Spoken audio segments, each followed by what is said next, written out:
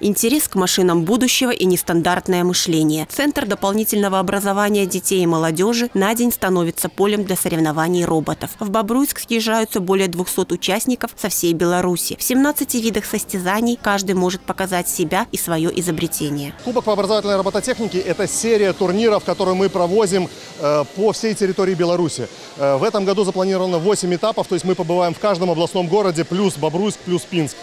Э, завершится все в конце сезона учебного летом на 10-м Минском открытом роботурнире. Хлеба и зрелищ. Пока зрители в ожидании борьбы угощаются чаем со сладостями, на полях уже вовсю жужжит. Участники начинают тренировки. Робо-рейс, сумо, олимпиада, скетч и автономные воздушные аппараты. Сразу после старт турнира. Юные инженеры сосредоточены на игре. Создать умную машину – 50% успеха. Остальное – суметь задать правильные команды и грамотно управлять техникой. Относительно нашего нашего города можно сказать, что робототехника активно э, внедряется в образовательный процесс средней школы номер 34, гимназии номер 3, гимназии номер 2, гимназии номер 1 и многих других учреждений. Это, безусловно, это очень-очень важно.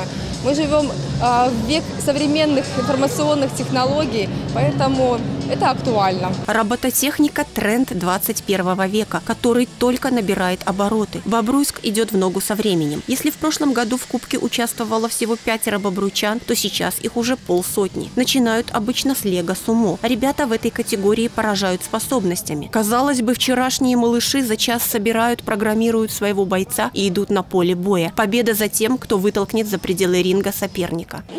Нравится робототехника, потому что можно сделать что угодно из лего. А что ты делаешь? Делаю роботов. А расскажи немножко про свою модель. Э, моя модель будет выталкивать с помощью ковша.